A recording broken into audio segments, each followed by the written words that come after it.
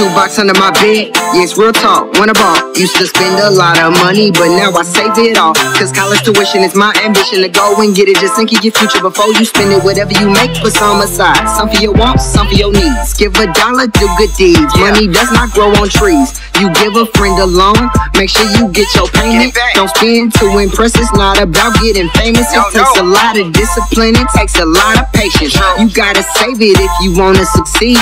The downfall of any millionaire was his greed. He spent a big blob, now he got a day job. His hard work got him paid. He used to live in the shade, he didn't count what he made. Till one day he ran out, he didn't know how to save. That's why you gotta plan out if you wanna maintain.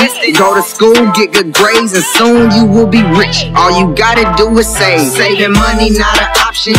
I if I wanna make it to college, it's simple, gotta save. Never run into financial problems, I gotta save. If you wanna understand, just follow, learn how to save.